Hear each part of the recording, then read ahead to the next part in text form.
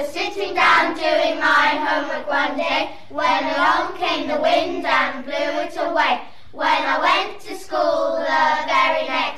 my teacher said to me, Hey, listen to what I say. I was sitting down waiting for my students one day when along came their excuses and ruined my day. They said, I was sitting down doing my homework one day when along came a goat and ate it like hay. I was sitting down doing my homework one day when my dad said, Son, go out and play. I was sitting down doing my homework one day when it started to rain and it was washed away.